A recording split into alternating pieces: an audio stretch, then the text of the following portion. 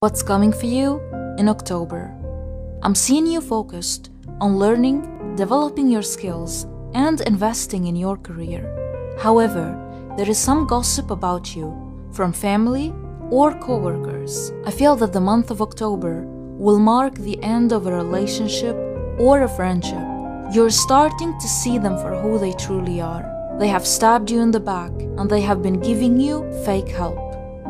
Ending this relationship is a blessing in disguise because as soon as they leave your life, you will attract so many blessings and rewards. You may deal with feelings of loneliness during this month as you feel nostalgic about the past and miss some people.